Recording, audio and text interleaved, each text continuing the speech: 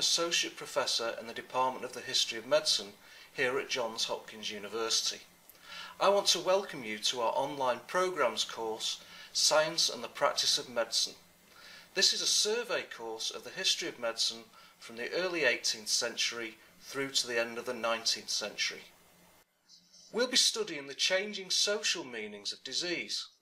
For example, how diseases like smallpox, yellow fever and cholera were understood, and the different kinds of institutions that emerged as people tried to organise responses to these and other threats to health. Much of this work wasn't done by doctors at all. It was done by midwives, nurses, secular healers and everyday citizens in their own homes. Using the tools of social, cultural, and intellectual history, we will look at a series of very different interactions between science and the practice of medicine in the 18th and 19th centuries. Hello, I'm Kirsten Moore-Sheeley, and I'll be your teaching assistant for this course. We will begin by studying Enlightenment reasoning, and then move on to consider how medical practices, ideas, and institutions changed in the context of broader social, political, and intellectual developments of the period. We'll be looking at how the interaction of social and biological forces produced different patterns of disease in different populations, in different places, at different moments in time.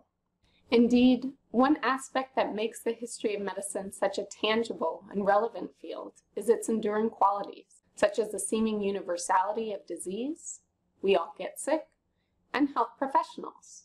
There have been doctors and nurses for a long time and in many different places.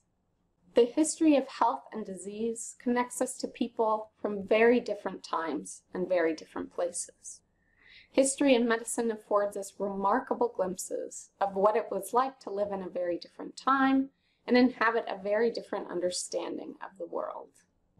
It is a course about what we can learn about the past and our current moment by taking seriously very different approaches to the body and health and disease. Each week, short lectures provide a basic overview of the key topics.